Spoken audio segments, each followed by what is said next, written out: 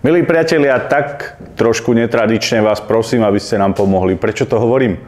Sulíkovci rušia všetko, čo sme prijali. Zrušili oslobodenie od odvodov daní 13. 14. platu, zdvihli živnostníkom dane z 15 na 20% a teraz chcú zdaniť príspevky na šport. Čo je to príspevok na šport? Príspevok na šport je niečo podobné ako rekreačný poukaz.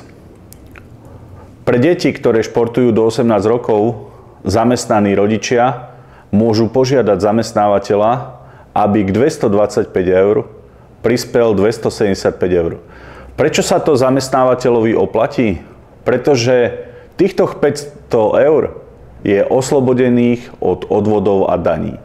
Zaviedli sme takéto modely, kde do výšky 500 eur sme dali bónusy od štátu, aby neboli zdaňované. Tak fungujú rekreačné poukazy, ktoré sa takisto zamestnávateľom oplatia a tak fungovali aj 13. 14. platy, ktoré boli oslobodené od odvodov daní.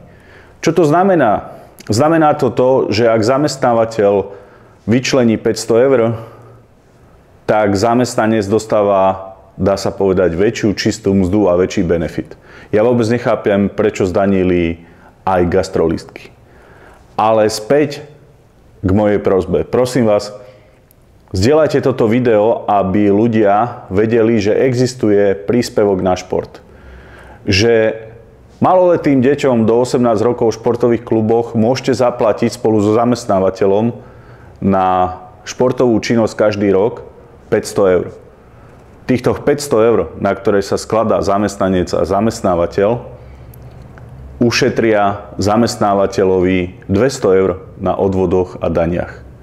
Vážení zamestnávateľia, aj vám sa to oplatí, aby ste sami ponúkali túto možnosť zamestnancom.